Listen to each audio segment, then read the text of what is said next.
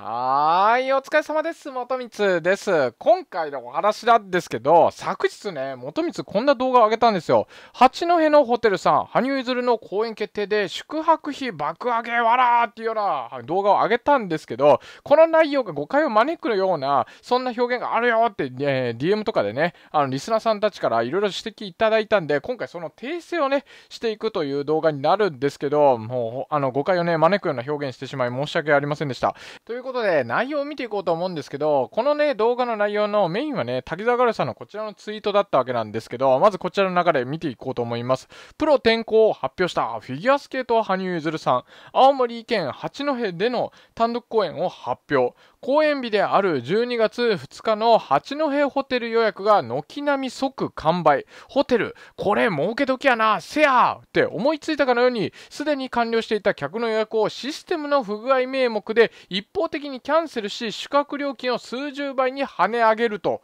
いうことで、まあ、こちらのね、画像を見ていくんですけど、羽生結弦さんのね、えーアイスショーがあるよっていうことで発表されるわけなんですよ。12月の2日3日にあるよっていうことで、この発表が起きた途端に、こんな感じで予約完了後、勝手に予約をキャンセルされたユズリストたちということで、いろいろ予約してたんだけど、昼間、えー某旅行サイトで必死でやっと抑えた八戸の宿が勝手にキャンセルされてたんですけど、どういうこと？今までこんなことなくてこう戸惑ってる。キャンセルに覚えがなければ、ここに連絡しろって、メールが届いてるけど、口コミを見ると評判いまいちっぽいということで、今回、羽生結弦さんが、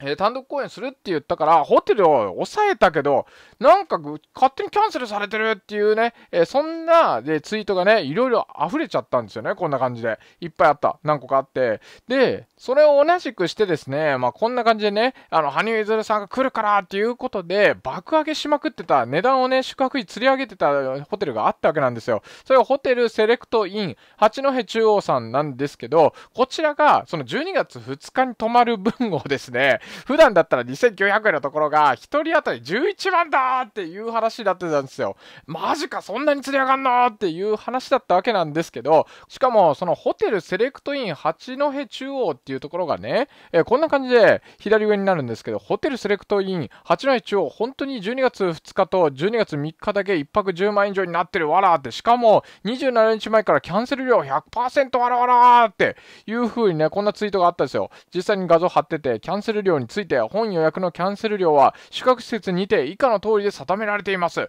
27日前から宿泊料金の100%って、えーって、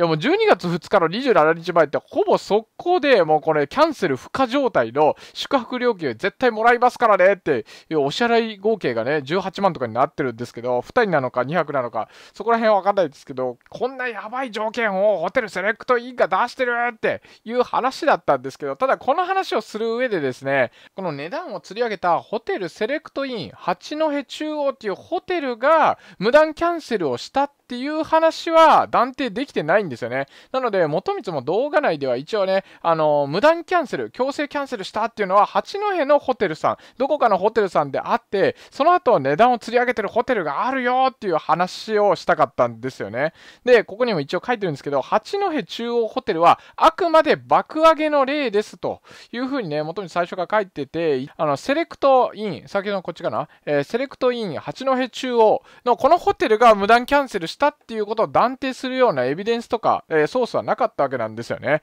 まあなので、元光はそれを区別して話してるつもりだったんですけど、ただ動画内元光が話してる内容を改めて聞くと、やっぱりちょっとそこね、あのーまるでこのセレクトイン、えー八戸中央さんがね、やってるかのように聞こえちゃったんで、まあ、これをね、え動画を、え非公開にして、まあ、今回訂正の動画という話をね、させていただきたいわけなんですよね。誤解を与えてしまったことは本当に申し訳ありませんでした。でね、このホテルセレクトイン八戸中央さんはね、こうやって弁明、説明をしてるんですよ。今回の炎上について。こちらホテルセレクトイン八戸中央さんがね、やってて、まあちょっと読んでいきますね。平素より当ホテルをご利用いただきまして、誠にありがとうございます。またコロナウイルス期間中に関わらず、ご支援、ご鞭達を多くのお客様からいただき、大変な中でも多くのお客様にお泊まりいただいたことに、この場を借りて深く感謝を、えーお伝えし申し上げますと。さて、この度、12月2日、3日のアイススケート公演に伴合う一連の SNS 上での内容につきまして確認をした結果をお伝え申し上げます。宿泊者の予約を当ホテルから一方的にキャンセルしたという事実は確認の結果ございませんでした。これは宿泊予約受付担当者、一人一人に休日担当者も含め内容を確認したものです。当ホテルから一方的に予約をキャンセルされたという方からのお電話等についても10月6日時点ではございませんでしたと。ということで、八戸中央さんは一切予約のキャンセルっていうのは無駄手してませんというふうに言ってるんですよね。で、ネット上で書かれているシステム障害につきましても、社内でシステムエラーが起きていたのか履歴を確認いたしましたが、システム障害が起きたという事実は一切ございませんでした。今回の宿泊料金の高騰につきましては、大変人気のあるアイススケートショーが講演されるということで、この地域全体の宿泊価格は高騰していたという事実はございました。ダイナミックプライシング上、そのように販売した事実はございますということで、まあ、このダイナミックプライシングっていうのが、あの、需要と供給に合わせて、その時の宿泊の値段を変えるよっていう話なんですけど、まあ、要するに、先ほどのツイートでね、まあ、このえーと、宿泊費をね、爆上げさせてるあの、釣り上げてるっていうのは事実として認めて、で、その後のね、まあ、この27日前から宿泊料金の100%、えー、キャンセル料いただきます。それについては否定をしていないんで、まあ、本当なんじゃないのかなと思います。まあ、結構厳しいよね。一泊10万円ぐらいで、宿泊料金の100%キャンセル料27日前から取るって、かなり厳しい状況だと思いますけどね、条件ね。うん、まあ、需要がいくらあるからとは、まあまあ、そこら辺を叩かれたらしょうがないかなと思います。まあ、でもね、えやっちゃいけないことではないからね。まあ、とにかく、ホテルセレクトイン八戸中央さんは、無断キャンセルは一切してないという話なんですよ。じゃあなんでこんな話になっちゃったのかっていうとこなんですけど、これもう一個他のね、ホテルが、えー、話題になっててですね、そちらに、えー、取材をしてるね、こちらの記事があったんで見ようと思うんですけど、まあタイトルはこの通りで、えー、ここですね、えまた SNS 上ではスーパーホテル八戸天然温泉でも同様に勝手にキャンセル騒動が起きているという投稿があるということで、こっちにもね、無断キャンセル騒動が起きてるぞっていうような話題があったらしいんですよ。で、ホテルの従業員に取材を申し込むと、その実情を明かしてくれた。アイスショーの発表以前予約を取っていた方の予約をキャンセルしたということは絶対にありませんが、この以前ね、うん、発表する以前、えー、発表後の話に関しては、キャンセルが発生したお客様は実際にいらっしゃいますということなんですよね。キャンセルを勝手にしたっていうことはないけど、キャンセルが発生したお客様がいると。うん、どういうことだ？えっ、ー、と、アイスショーが実施される発表が9月30日にあり、その直後に数百件の予約が集中しました。当ホテルは部屋数が95部屋なのですが、部屋の在庫を管理するシステムの在庫の更新が追いつかないほど集中して予約が入ってしまい、収容可能な数を上回る件数の予約を受けてしまっておりましたということなんですよ。まあ、ホテルを予約しようと思ったら、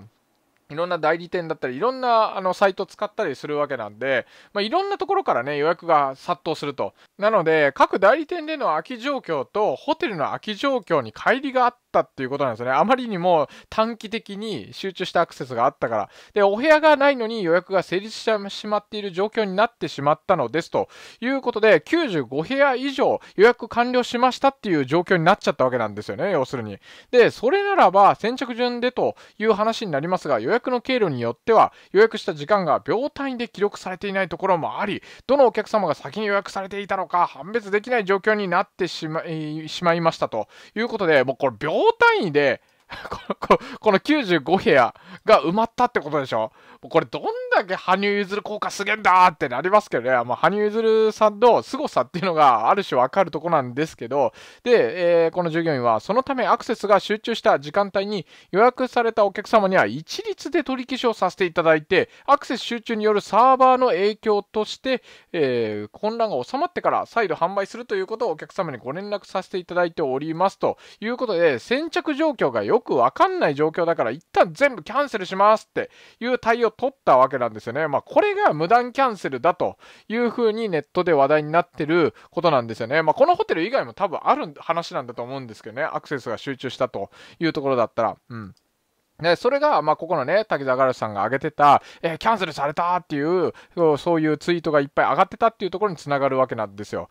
で、さらにですね、えー、そのホテルの、えー、従業員が言うには、今現在は当ホテルでは羽生選手のアイスショーの日程の予約は受け付けておりません。確定はしておりませんが、チケットの販売がまだ先なので、チケットが当選しなかった方はキャンセルされるとは思いますので、予約の受付はチケットの販売が終わってからになると思いますということで、今封鎖しといて、また、えー、このチケット販売が確定したら、またね、公開しますよってこのホテルは言ってるみたいなんですよね。そして、えー、こちらも具体的に決まっているわけではありませんが、1章の日程の八戸周辺のホテルの価格は1万5000円から2万円程度で落ち着くのではないでしょうかと従業員が言ってるみたいなんですけど、ただこのスーパーホテル八戸天然温泉さんの対応に関しては、お客さんの目線から考えると、あれ予約完了したって表示されてるのになぜか予約が完了されてなくてキャンセルされたっていう話になってるわけなんですよね。で、ま、まだね、これあの予約はあのスタートしてないと、この2日間に関しては予約開始してないとは言ってるんですけど、その後にこれ1万5000円から2万円程度で落ち着くんじゃないのかっていうふうに言ってるんですけど、このスーパーホテル八戸天然温泉さんの宿泊料金って、まあ、土日の料金で言うとね、まあ、そここれ次の週、えー、問題となっている12月2日の次の週、9日のものを見てるんですけど、だいたい1泊8700円ぐらいなんですよね。それを、あの、1回キャンセル、まあ、もちろん、まあ、やむを得ない事情なのかもしれないですけど、それでを1万5000円から2万円で出してたら、結局釣り上げて販売するっていうのと、あんまり変わらないと思うんですけどね、無断キャンセルで。まあ、額はそこまで大きくないのかもしれないんですけど、無断キャンセルをされて、えこうやってね、値段上げられてるっていうのは、お客さん目線からすると、えーって、なりかねないんじゃないのかなって。まあ、ただね、これまだ決まってるわけではないんで、えー、このスーパーホテル八戸天然温泉さんが悪いってわけじゃないですよ。ここら辺に関してはまだ何も出てないんでね。うん。まだ販売は開始してないということですね。まあ、ということでですね、元光が先日お話したこちら、滝沢ガレさんのツイートの内容なんですけど、こちらすでに完了していた客の予約をシステムの不具合名目で一方的にキャンセルしたホテルと宿泊料金を数十倍に跳ね上げたっていう、えー、ホテルが全く別のホテルだったということなんですよね。でね、それを一応元光は意識した上でこの動画上げてたつもりだったんですけど、ただもう話がごちゃごちゃになって、おい、ホテルセレクトインが悪いじゃねえかっていう風に誤解される部分もあったんで、まあ、元光が、えー、表現が悪かったです。申し訳ありませんでした。ということで、今回訂正の動画でした。また次回の動画でお願いします。本日もご視聴ありがとうございました。